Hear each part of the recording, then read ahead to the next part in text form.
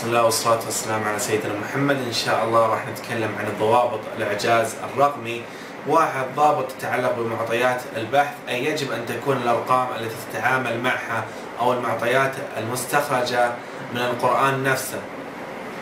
اثنين تتعلق بمنهج البحث أي يجب أن تكون آه، يكون المنهج أو الطريقة الم- آه، المتبع في معالجة الأرقام منهج علميا ثابتا. أيضا ثلاثة ضوابط تتعلق آه، بنتائج البحث. أي يجب آه، أن تتمثل النتائج بمعجزة حقيقية وليس مجرد مصادفات. اذا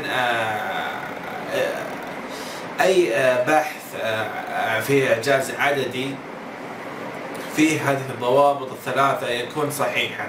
والله أعلم.